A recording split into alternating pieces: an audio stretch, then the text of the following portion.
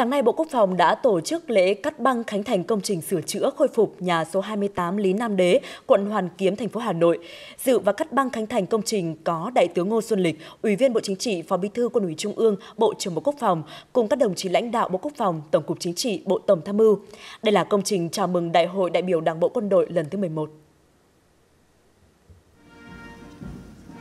Công trình sửa chữa khôi phục nhà số 28 Lý Nam Đế được khởi công ngày 6 tháng 6 năm 2020 do Cục Hậu Cần Bộ Tổng Tham mưu làm chủ đầu tư, Viện Thiết kế Bộ Quốc phòng tư vấn thiết kế và do binh đoàn 11 thi công.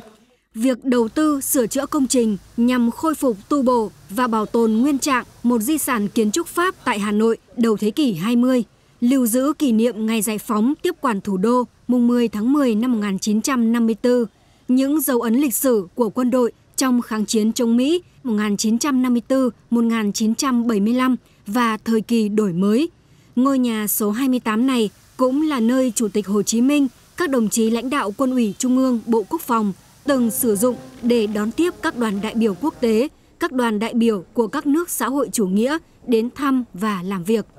Đây là công trình đã được sử dụng trên 100 năm, kết cấu và hoàn thiện phải xử lý phức tạp nên quá trình thi công phải điều chỉnh bổ sung thiết kế nhiều lần để đảm bảo về chất lượng cũng như giữ được thiết kế nguyên bản của công trình.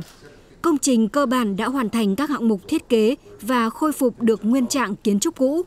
Quá trình thi công, các đơn vị đã tuân thủ nghiêm các thủ tục, nguyên tắc, quy định của nhà nước, quân đội về đầu tư xây dựng cơ bản và đã được Cục Doanh trại, Tổng cục Hậu cần nghiệm thu công trình hoàn thành, Cục Cứu hộ Cứu nạn Bộ Tổng Tham mưu nghiệm thu về phòng cháy chữa cháy. Công trình đáp ứng được yêu cầu bền vững, hiệu quả và an toàn, đủ điều kiện đưa vào khai thác sử dụng.